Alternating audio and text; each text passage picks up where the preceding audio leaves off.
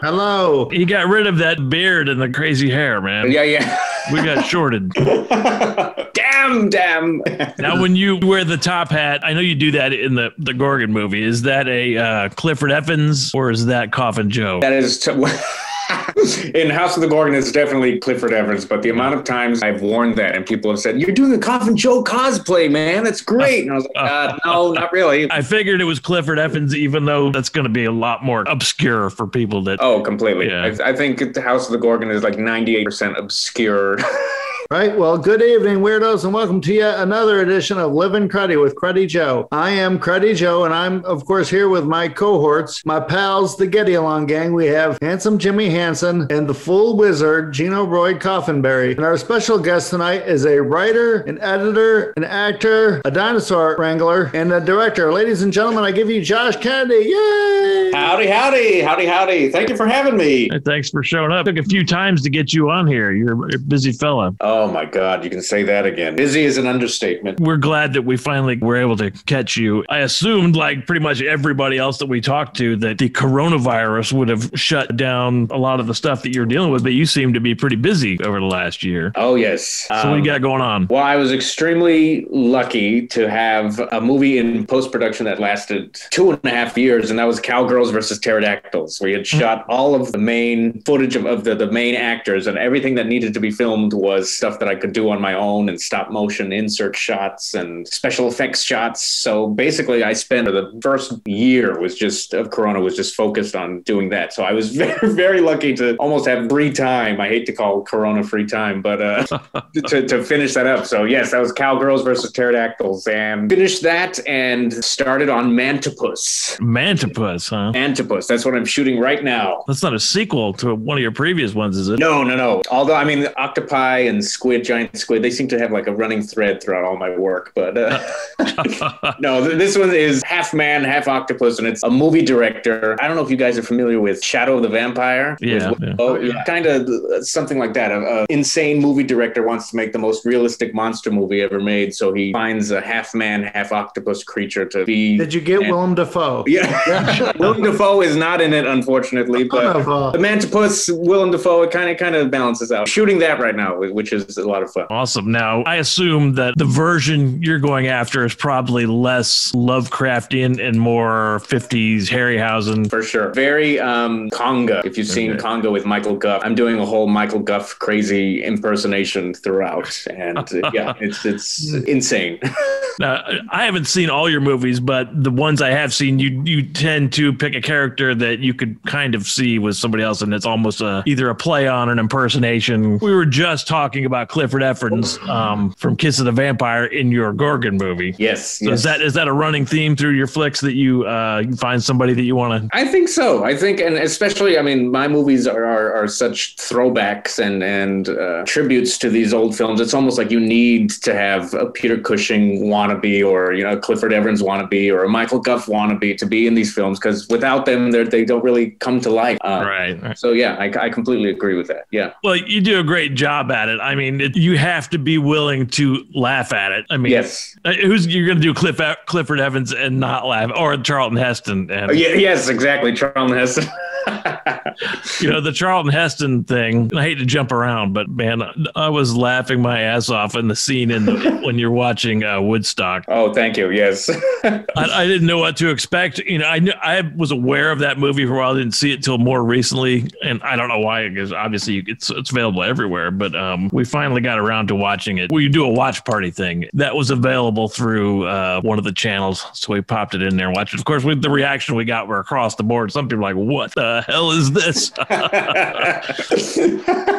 it was really enjoyable, and you have uh, a great take on Heston. I mean, you you can pull a voice that sounds almost exactly like Heston, and I'm sure you've discussed that before. Thank you, thank you. Yes, um, and it's it, we did Omega Man and we did uh, Airline seventy nine, which is my take on the airport films. Right. He was in Airport seventy five, and then even before that, I directed the Ten Commandments on stage. It was this gigantic, massive production, and I was doing you know Charlton Charlton Heston's Moses the whole time, and then people you sound just like him. So yeah. Well, I was gonna say, if I'm not mistaken, Charlton Heston's one of your heroes, and the Ten Commandments is the uh, impetus behind you getting into filmmaking. Is that correct? Oh, for sure. Yes. The story goes at age three, my parents sat me down with two VHS tapes because it was such a long movie, and they gave it to me as, as a three year old. They put in the first VHS tape. I watched it all. VHS tape came out, and me at three put in the second VHS tape and watched the second half on my own.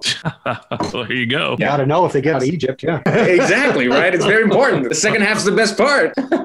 Uh, I'm, I'm trying to remember how I first uh, became aware of you. It's possible that we might be in a similar Hammer uh, Probably, fan yes. club or something like that. Becoming aware of you centered around this common interest of Hammer movies. I thought it was super interesting that you had kind of latched onto the Gorgon as your main jam with Hammer. Is, now, is that the case, or, or is it you? Do you have like a equally fond thing for Hammer flicks, or is it? No, it's definitely the Gorgon, which is, and again, at such a such an early age, it grabbed me. And you watch it now, and you're like, really? And me as a kid gravitating towards this one, like this is the most depressing. This is the most like un like I I don't want to say slow, but compared to like some of the more action packed Hammer films, this this is such an anomaly. But yeah, but really, I mean, the Gorgon is is you know at a special special level. But uh, I mean, really, any any Hammer film, you know, I'm gonna have a fondness for it. What's yours? What's your? Uh, Uh, you know, it's probably changed over the years, but you know, I try to watch ten or twelve Hammer movies a year at least. Not to the point of you know killing myself with them, but in the early years, it would have definitely been Curse of Frankenstein and Dracula. Um, Yeah. Now I think it's kind of mutated towards. I'd have to say the most beautiful film is The Brides of Dracula. For me, it just looks so great, and you could pause it at any point and take a photo, and it's it's a work of art.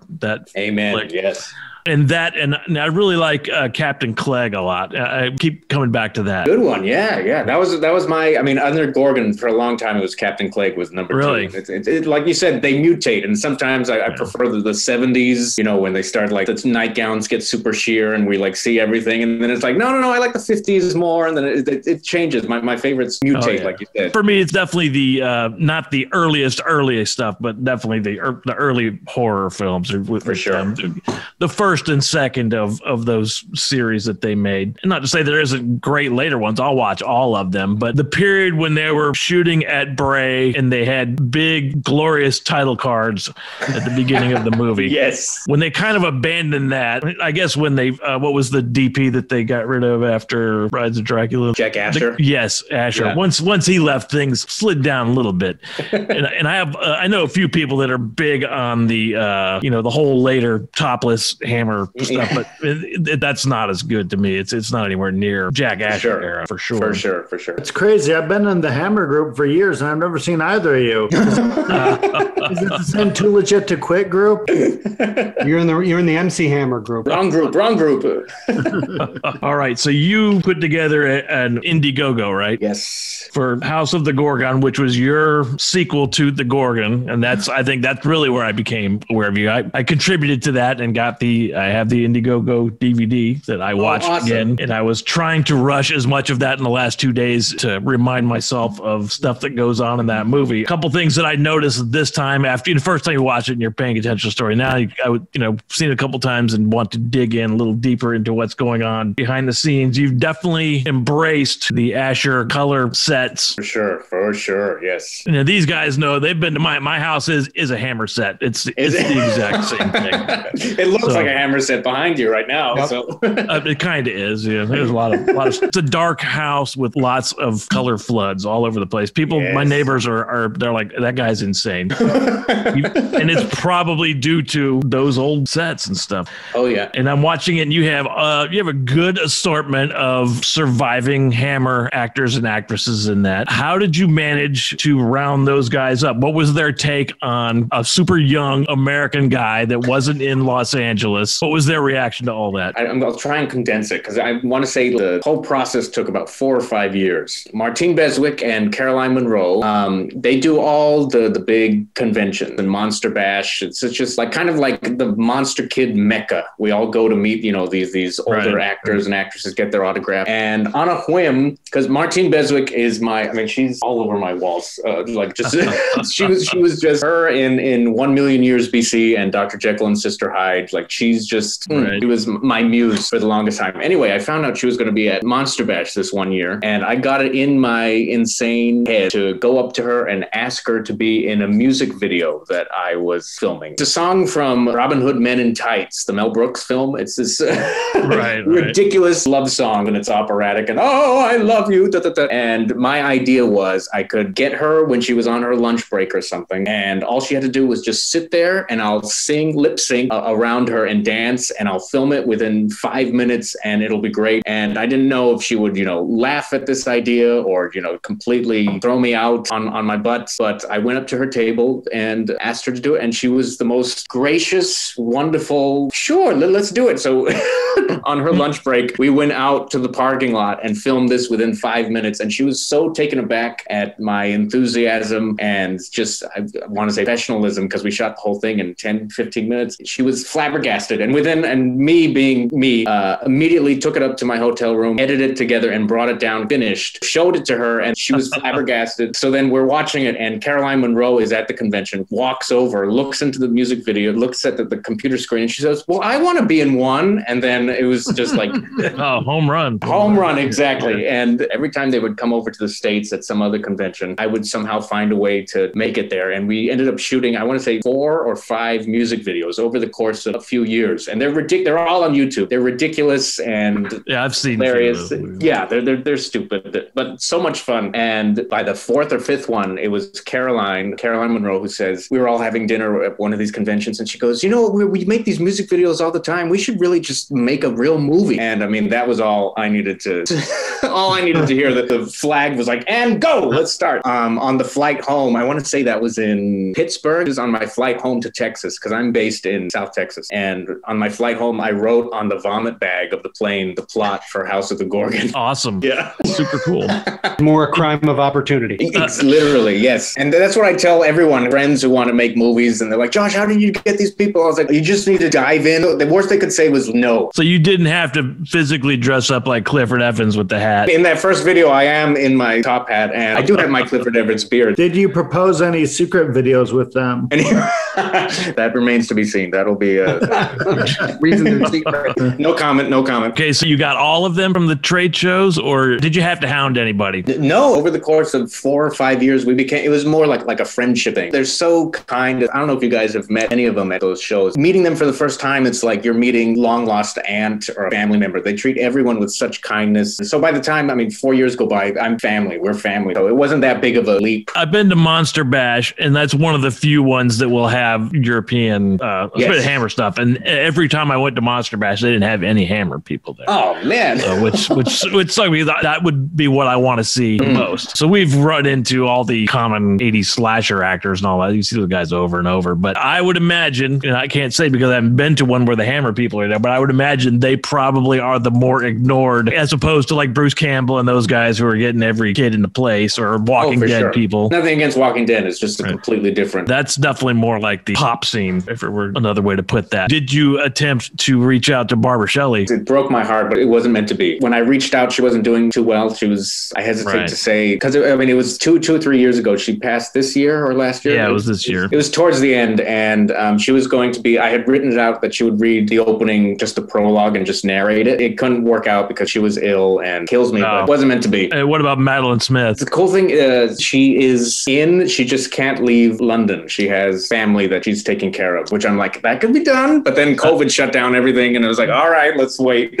Well, that would be cool if you can get her to appear in something. For sure. Uh, You're just saying you would consider shooting something over there. Oh yes, yeah. It's just a matter of, I mean, again with COVID and the pandemic, they're they're so locked down over there. Hopefully this will all pass and we can move on to some Well, fun yeah, stuff. yeah, hopefully. Everybody's got stuff they're putting off. You did the audio commentary for a version of The Gorgon, right? I mean, that was a dream come true. That was like me running into a candy store. Apparently, people haven't been enjoying it, but I'm sure. I mean, I'm geeking out. I'm quoting along with the movie. I'm, I'm laughing and, and cheering along. But people have said it's very entertaining. That takes a lot of work. I mean, the same thing with the amount of research I had to put into it, and, and I had notes just to make sure I got everything in I wanted to say. But I have such respect for commentators that do it on a daily basis. Every other week, week they seem to have another DVD release. I'm like, how did they do it? It's on the Mill Creek uh, 20 Blu-ray set of like 20 Hammer film. And the Gorgon's on there. Uh, I'm blanking on, on what some of the pirate movies are in there. This is some really Right. good good stuff. Pootie Tang on there. Pootie Tang is in there. yeah. I think I think that's a that's a special like uh, different DVD release. Well, if they do a, a commentary on Pootie Tang, then Joe will be the one. It'll be Yeah, the exactly. combination of uh, Dunston checks in and Pootie Tang. After uh, Cowgirls first pterodactyls wrapped, who got to keep the baby pterodactyl Terry? Little Terry is half stop motion puppet, which Ryan the animator has, and half hand puppet, which I still have. Terry wasn't real? Yeah, yeah, I know. I'm sorry, sorry to, to break your spirit. Doing your marketing right, there might be a lot of money in Terry. It could be the new baby Yoda. It's so funny you say that because you're not the first person to mention that. He's turned out into like a very popular little character. When we were filming it, I was like, "This, this is so stupid. There's no way this is going to work." And sure enough, everyone's in love with Terry. I was like, "Really?" What was the main inspiration for Cowgirls and Pterodactyls? Hammer films are in my blood, but me growing up in Texas, the other big love of my life is the Alamo. That's such a Texan thing to say. I always wanted to do a Western, and they're in South Texas, our own urban legend of the big bird. So in the 70s, there was this giant bird, kind of like, like a Bigfoot, Loch Ness monster type thing. It was either a giant pterodactyl looking thing. So it's just a marriage of the Texas Alamo lore and this pterodactyl. For a long time, it was Davy Crockett's daughter meets the big bird. That was like the title of it. it mutated into Cowgirls versus Pterodactyl. Did you set sure. out to want to do specifically stop motion? Did you ever consider any CGI or? Real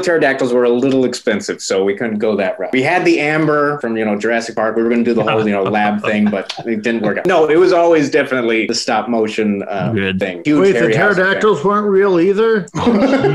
Yo, catch This up. interview's over. It feels like Joe already asked that question. He thought just the baby pterodactyl was. Exactly. Yeah. The, the, the other ones were not real too. That's fine, guys. Just laugh and crush my dreams. Sorry. What we do, buddy. Is that- That's the movie right now that you're promoting most. Yes, I mean anything, anything, any of my work. I mean, just as long as it reaches the right audience. I'm sure you guys know. There's us monster kids who know the, the Hammer stuff and you know the Harryhausen films, and then there's the other half that are just they only know Sharknado or they only know you know the, the Marvel superhero CGI extravaganzas. Question I get all the time from people with cowgirls, at least, is like, why do the dinosaurs look like they're they're so you know they look fake? And I was like, well, Ah. it's, I know, I know. Ugh. They're like, well, it's not smooth. Why does it look so jerky? At what point do you just not even reply? Joshua, Like, don't you know that you can actually make a cartoon that looks just like, I- yeah. and you don't have to have that clay thing. Uh, yeah, I- I- You could have called me beforehand, and I would have told you. exactly, exactly. You nailed it, nailed it. Oh. I know a lot of people who are superficially horror fans, but when you talk about the classic stuff, they are like, uh, I can't, I can't do it. The one that I get is like, you're into the classic monsters. What's your favorite monster? I was like, well, it's the Gorgon. What about you? He's like, oh, well, probably, you know, Scream. And I was like, oh, ooh. in the realm of classic horror. I mean, I don't think Right, Scream right. fits into that. This is just not really relevant, but it was something I noticed during uh, the Cowgirls movie at the beginning when they're in the saloon. There's that vampire painting. Yeah. Was it that obvious? You see those in your other movies, like Night of the Gorgon. It's throughout. It seems to have seen that same art elsewhere that wasn't in your movies. It's a replica of the Dracula painting in Dracula AD 72 and Satanic Rites of Dracula. I know exactly what you're talking about now. It looks similar to that, close enough. That- That's why it was ringing a bell with me. And you also have in Night of the Gorgon, do- is that the master from Manos at one point? Yes, yeah, yes. I'm trying to squeeze him in as much as I can into all my future movies. We just talked to Jackie Neyman, was it two weeks ago? Opportunity for director. She says nobody has ever brought up or ever pursued doing a remake of the original movie. Really? She would endorse it. Yeah. Wow, it's kind of like when they try and remake Plan Nine from Outer Space. It's like, how do you how do you even Oh, like, no, no. You- start that? You it know, would have like- to be the right amount of cheese or exactly. Yeah, redo it in a just whole other fashion. But and not saying that that would be anything that someone who's already in the cheese world would pursue. But It just seems funny to me that we had talked to her about that, and she had like, yeah, nobody's ever brought. It seems like wow, wow. That, yeah, you're right. that is uh, mind-boggling. Yeah, remake Manos as Abel Ferrara would direct it or you could have Hugh Jackman. as the master. I have some hammer questions here that don't really have anything to do with what we've talked about. Hit me. I wanted to find out what your favorite of all the title cards from the classic hammers were. What would you say is the best one? I have a real soft spot. I mean, watching House of the Gorgon, you you notice Hound of the Baskervilles. It's that yellow lettering, and it has like little. It's not blood, but it's almost like moss that's hanging from it. I used that that same lettering, frame by frame. I mean, letter by letter, cropped it out and used it in House of the Gorgon to spell out House of the Gorgon. Curse of Frankenstein with the, the red fog behind and the white. Yeah. ca- What about you? What do you got? Probably Brides of Dracula. Yes. Obviously it's later, but Devil Rides Out is a classic one. And I was somewhat given that the era that it was in, you know, that the Gorgon didn't have a better. I know, and it's kind of disappointing. Actually, I'm sure you've seen the trailer for it. the trailer version has a way Yes, better. I'm right there with you. I, I completely agree. I'm like, really? It's like Arial bold. It's like that's that's the best you could do. Yeah, yeah.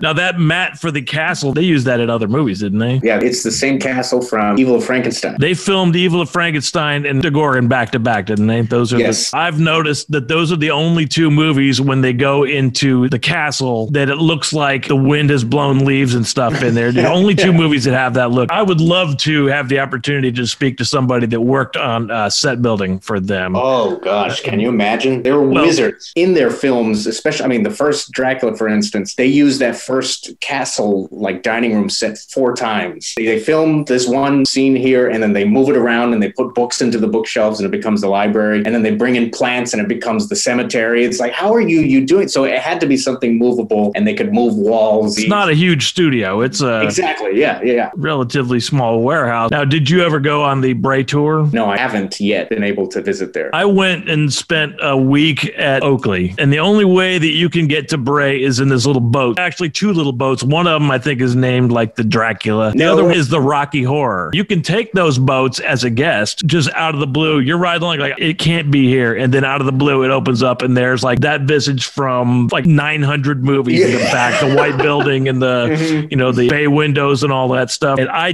desperately wanted to pull over and climb out and walk up the property, but there was clearly stuff there that said you cannot go out and look. Yeah. I've always wondered was all the stuff from those movies still locked up in those warehouses back there? There was a big fire at some point where we lost a lot of the props and stuff. For a long time, it was going to be torn down. There was a big petition. We need to save this British cinema historical site. From what I, I understand, that it's still standing, thank goodness. But all of the, the evidence, I mean, I'm sure there, there's evidence, but like the props and stuff, I think that that's long gone. That definitely stinks. But at least you could still see the exterior and you know Yes. it's the place. Coolest thing I saw, and I don't know if people search this out or not, but we went to Black Park. yes. Check out the lake. I have been there. If it took you the same way it took me, were you surprised that it was much smaller in real life than it appears to be? it's literally a park. They had like rope gliding or something there. You could Yeah, yeah, and like bicycle trails. It's like, oh, this this is it. This is Transylvania. This is Russia. This is all Eastern Europe in one park. once you recognize that spot, it's not just Hammer that you see. That thing appears in Jimmy's a big Star Wars fan. There, uh, there's a lot of scenes from Star Wars shot in that. There's tons of other movies still being shot there. It's this tiny little park, Jimmy. It's literally the size of like Pinkerton. Yeah. Not even smaller. That was a highlight of traveling for me. Was that stupid park that nobody else on the planet cares about, mean, except Hey. for maybe you. Perfect segue. We went. It was a family vacation when I was ten, and we went to London. I dragged my whole family to Black Park, so it was Right. basically the same thing. And I gathered all these leaves from the floor. I was like, these are like sacred leaves. It's like like where, where Jesus walked. Anyway, so in in uh, so in the House of the Gorgon, talk about obscure moments in House of the Gorgon. At the very beginning, the doors blow open and all these leaves blow in because the Gorgon. I know the scene. Yep. So the leaves that blow in are leaves from Black Park. Those are the leaves I saved for like 15 Important. years. Wow, Yeah. that, that's going all the way. You probably couldn't find all the leaves, could you? We had like 19, and I was like, I want Oh, yeah, so you had them numbered. Then, back in this bag. So we, we had everyone on their hands and knees finding the wrist. So if I go back again, I'll get some more leaves for backup for you. thank you, thank you, Jimmy. Is that Vincent Price behind you with with the glasses, or like a picture of Vincent Price? Or? It's actually Cruddy Joe and I. Oh, really? Oh, We had a drawing contest. Oh, that's, That's great. him Um, trying to be Clifford Evans. One of our uh, viewers won a contest for drawing a picture of me and Cruddy Joe in a slightly is great. compromising situation. Yeah, I was I wasn't supposed to be out. in damn it. Jimmy had no wall art, so we consigned a contest to somebody to make him a painting. I love it. Looks great. Gary did that for. You, obviously, your movies are loaded with paintings. Did you do those, or is that somebody else's stuff? No, I, I luckily have a friend who wanted to help out with anything. He's like, "What can I do? I can be on camera." I, I, I was like, "You paint, right?" I was like, "I need paintings," and I gave him a list of all these famous paintings from all these Hammer films. I need Cushing from this thing. I think I need Lee from this, and I need Ingrid Pitts from Countess from The Vampire Lovers, um, Sir Hugo Baskervilles from Hound of the Baskervilles, Vincent Price from it's not a Hammer film, but from The Haunted Palace. It's yeah. So I was like, "We need the whole staircase," and he's like, "Yeah, I'll paint him." He's great. His name's Hector. He's I, I'm pretty certain I saw the Vincent Price one. Was there Barnabas Collins? Barnabas is yes, that's the one I'm thinking. and Yeah. obviously, you have Manos is in Uh, there. yes. So you got all the bases covered. We do this quiz thing. I talked to you beforehand. I suspected you might not be into popular rock and roll stuff. Yes, As most of the people we talk to are. This time, I'm going to do movie slogans from the kind of movies we would watch and movie quotes. okay. And then there's another part at the end that we do that's completely ridiculous. The two that we got here, Cruddy Joe and Handsome Jimmy, are your lifelines. Now, I can assure you that if you don't know it, you are shit out of luck with those two. Um, Very, very encouraging. Thank you. Thank you very much. but they are available.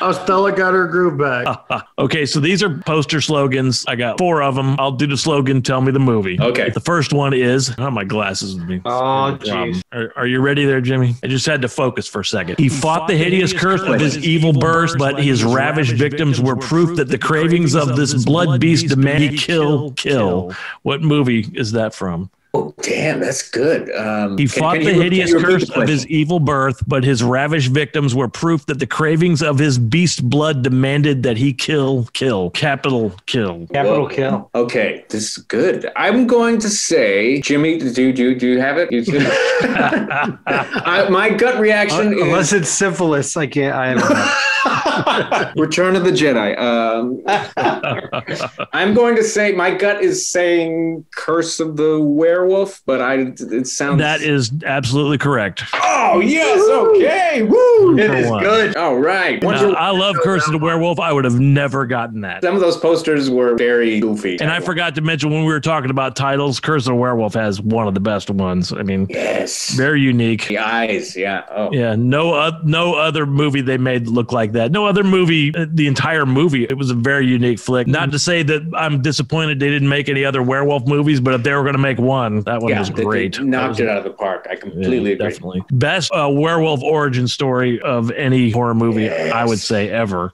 I completely agree. Oh, yeah. Okay, the second one is human fangs ripping throats. No sawdust can soak up the torrent of blood. Oh. Let me read that again so I have it. Floats and soda. I know what you're thinking about. Human fangs ripping throats. No sawdust can soak up the torrent of blood. Hmm. Is it Vampire Circus? It is Vampire Oh, Circus.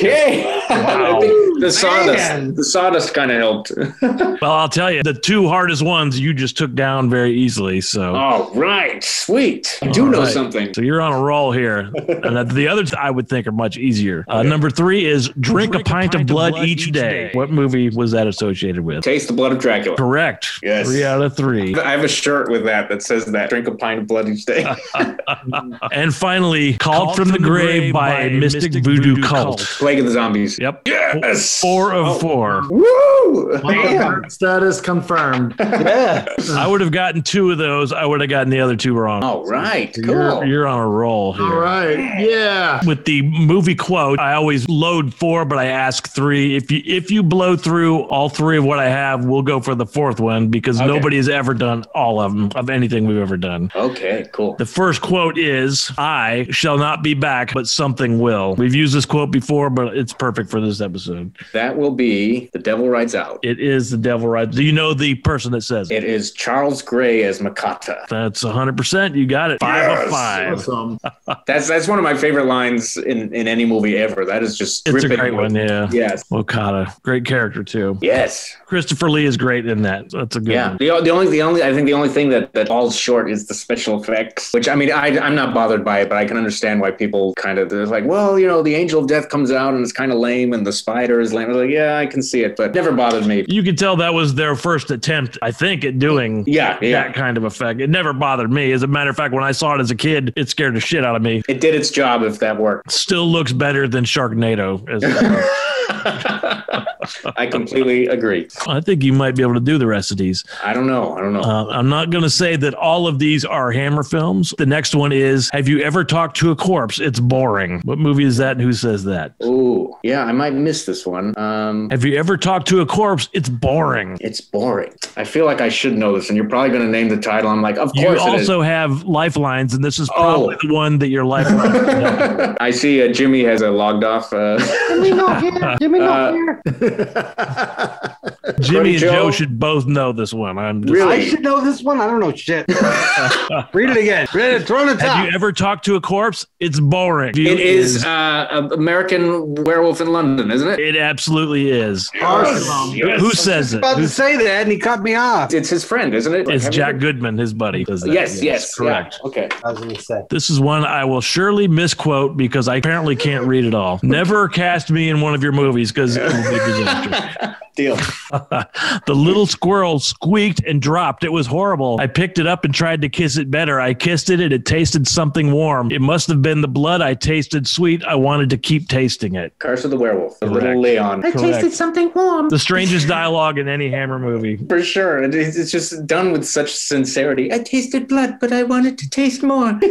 I would have to say that uh, if if you were to ask me to pick like two or three of the most iconic scenes from any Hammer movie, it would be him with the vampire teeth holding the bars. yeah. And also the scene in Brides of Dracula where the locks drop off the coffins. Oh, yes. Yeah. That's like peak best stuff they did, in my opinion. I, I, I agree with you. I mean, it's, yeah. they, they had the colors right. Everything was perfect about those particular scenes. If you I- had yeah. to pick a couple, what would you go with? automatically i mean it's such a cliche but but the final chase in the first dracula is just Right. and the first reveal in curse of frankenstein where he rips off the mask and the camera dollies in whoa Oh, yeah. Well, christopher lee's first entrance basically Yeah, that's great. But I'll tell you, I was when I first saw that Yeah. because I was a little kid and I fully expected Boris Karloff. I was not thrilled about that scene. completely understandable Now, I've come to love that movie better than any of the Universal ones. So, I mean, Wow. I got no complaints. But when you're a little kid, you know what you know. Mhm, mhm. I was uh, pissed off when I went to go see The Prince of Egypt, the cartoon, in cinemas when I was four, and I was pissed off that Charlton Heston wasn't Moses. So I mean, it's it's, it's well, there's a great story in, in the Jackie Neyman episode we did with her seeing the first time she saw Manos, The Hands of Fate. Oh, really? Never having been told that her own voice was dubbed. and she Oh, started crying and they had to leave the theater. Now that, Oh no way! Okay, we have one more of these here, and then if you do this, you'll have gone eight for eight. By far, the best performance of anybody. I'm going to leave out the name that is said in this because it's so obvious, but the quote Okay. otherwise is murder. That's what it's all about: ghastly, horrible, obscene murder. Oh, you may have stumped me. Murder. That's what this is all about: ghastly, horrible, obscene murder. Mm, I should know this, and I know I know this. I might have to ghastly and it, You have you have your lifelines and. Li- lifelines. I will use them all. I don't know my lifelines. Anyone? Uh, is it the Sherlock Holmes movie? That was my first first inkling too. Like them looking at Oh, a I got body. it may be gothic, but not in a current sense. And there's actually some rock and roll in this movie. Oh man. Okay. The Phantom of the Paradise? It is. Uh, I wish that would have been perfect addition to that movie. I I I, I pass. What, what what is it? What we got? It's Dracula AD 1972 when Is Van it? Helsing is talking talking to Jessica. And I did yes. Oh, Oh, where were you on that one? Seven out of eight is still. Yep, I'd say Josh is the best. Oh, thank you, thank you.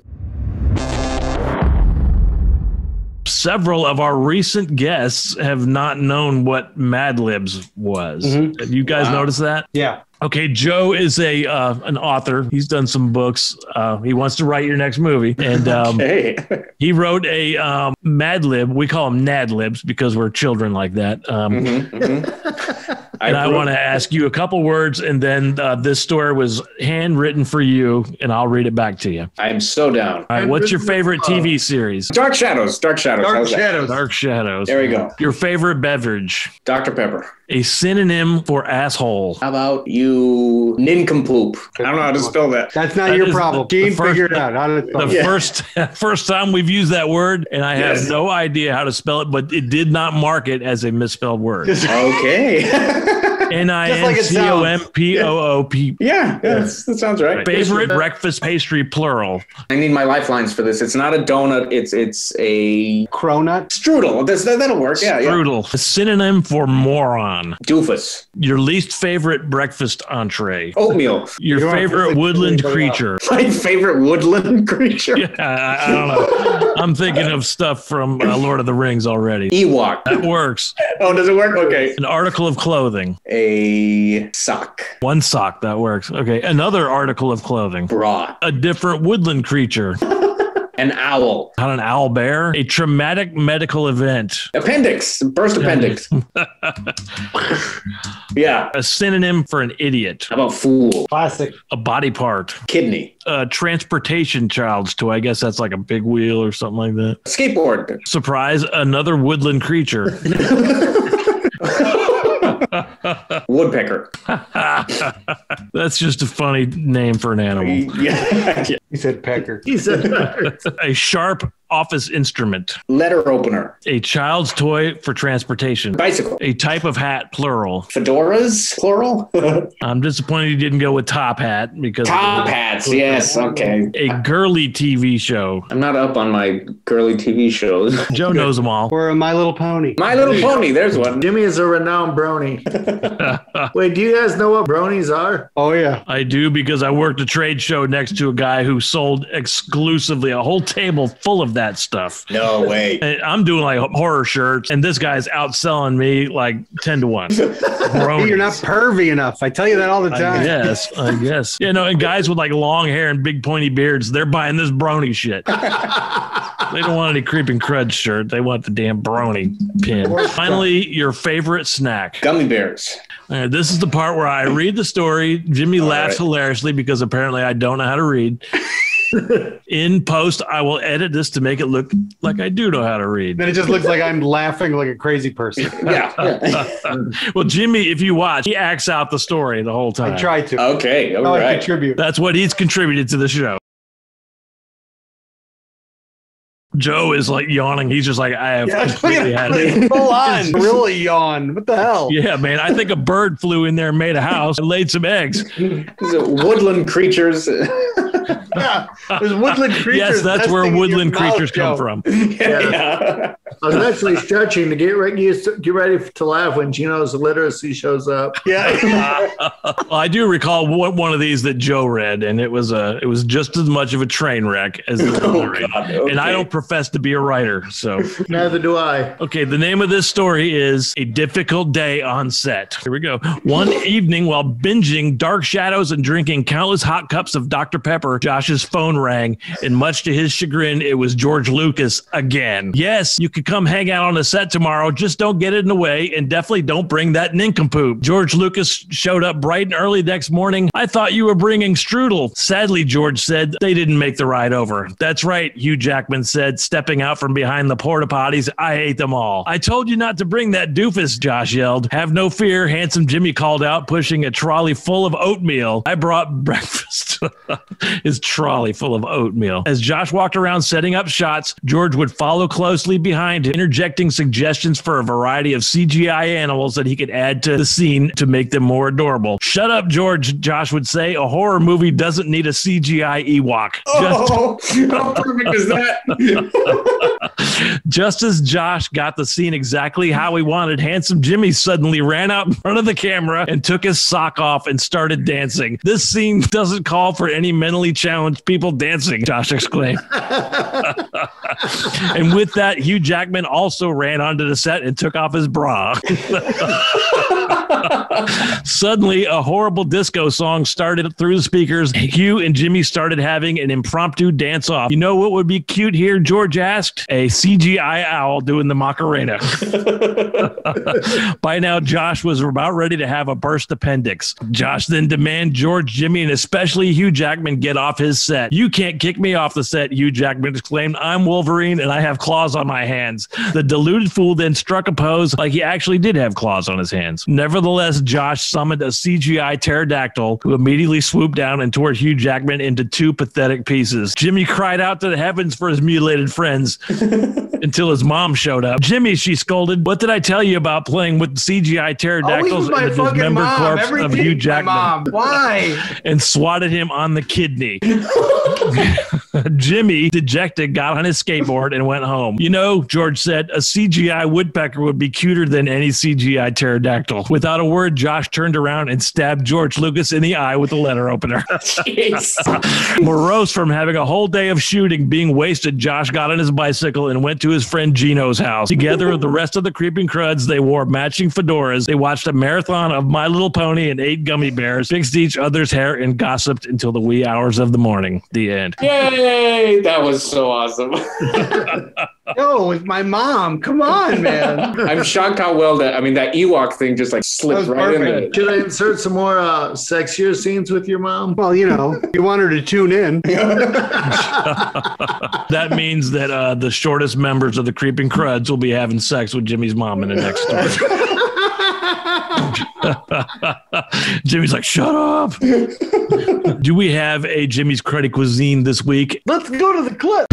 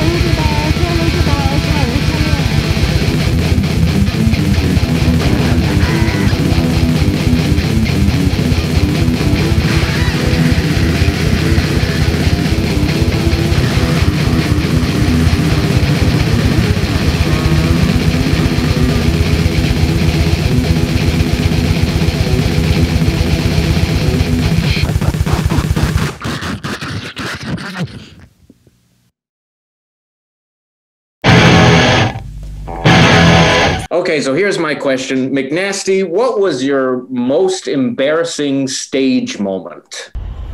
Well, there was that time that I set myself on fire impersonating Gene Simmons.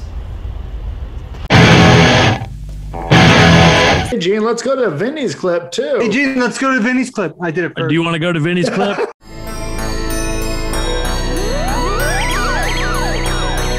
there, film freak out fuckers. Oops, sorry. Uh, this week, let's discuss a flick we all enjoyed a few months ago. Number 87 on my list. Burial ground.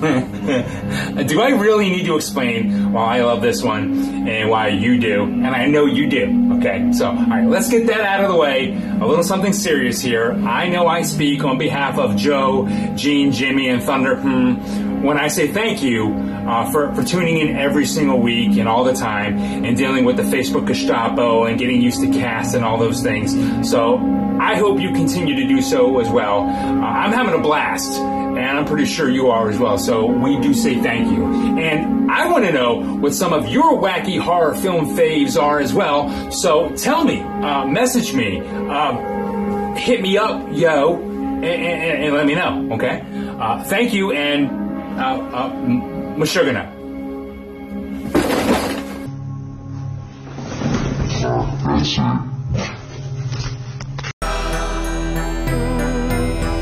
The last thing is asking if Joshua has anything that he would like to promote. Oh, anyone listening? Um, Cowgirls versus Pterodactyls is available on Amazon Prime. If you have Amazon Prime, it's, uh, streaming instantly. And um, if you have any interest in my work, I'm on Facebook, uh, Joshua Kennedy, Man of the Arts, and I'm on YouTube. If you're a monster kid like these great gentlemen, I'm sure you'll find something to enjoy with my work. Thank, thank you for that. Now, I did have one question here that I was reminded of. Yeah. Very quick one. Um, when you were filming the Alpha Omega Man and you had to come up on the scene where Rosalind Cash gets naked, you obviously did not have an older female who was experienced. How did it play out where you had to ask your actress to do that scene? Luckily, uh, Laura Loriano is one of the, my favorite actresses to ever work with, and um, that nude scene in the original Omega Man has a special place in my heart. I mean, as, as It creepy as for that all of us, sounds, yeah. as it did for all of us. Somewhere. Uh, I don't know if you even want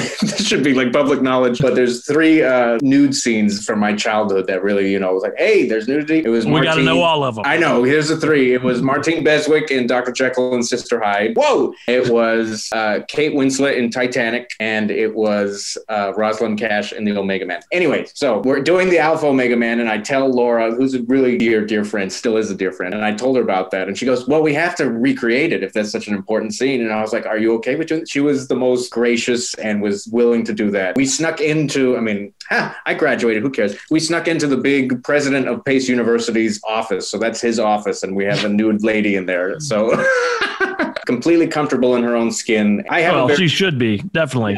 yes, Um, she's, she's lovely. when we were watching that, it ca- was coming up to that part, and in my mind, well, I'm like, okay, they, they're just not even going to go anywhere near the, the nude scene in this. and then boom, she's naked. I'm like, oh, okay, this guy's got some game going here. You brought up something I would like to take an extra minute to ask these guys what nude scenes had the most profound effect on each one of you guys, Joe and Jimmy. Uh, fast times. yeah, for sure. yeah. That's a good one. Yeah, Was it Jennifer. Jason Leigh or was it the pool scene? Phoebe, Phoebe, Phoebe Cates, Phoebe. yeah, changed my life. yeah, changed a lot of people's lives. That's a good choice. What about you, Joe? Uh, Kim Cattrall in the first Porky's. Oh, Oh, she goes full bush in that one. I saw that movie with my parents. Oh, Well, I don't know if I was a kid, but the uh, the probably the one that stuck with me obviously is uh, Debbie Harry from Videodrome. oh yeah. oh yeah, yeah, oh yeah. That was a great one. oh, sorry. kind of, kind of lost you there for a second. Well, that's all we got for you this evening, weirdos. I would like to thank my pals, the Giddy Along Gang. We have handsome Jimmy Hansen and uh, the full wizard, Jeano Roid Coffinberry. And perhaps most importantly, we want to thank our awesome guest, Mr. Joshua Kennedy. Thank you for wasting your time with us, sir. No, thanks so much, guys. I mean, I've done a few of these with other podcasters, and this this has easily been my favorite one. You you guys have been awesome, and I, I really Awesome. appreciate Do you I prefer to appreciate go by. Joshua or Josh? it. Wh- whichever's easier for you. Or I mean, sugar shorts? I mean, Master of the Universe, Sugar Shorts. Oh, damn, that's good. Oh. All right, sweet. Yes. Woo!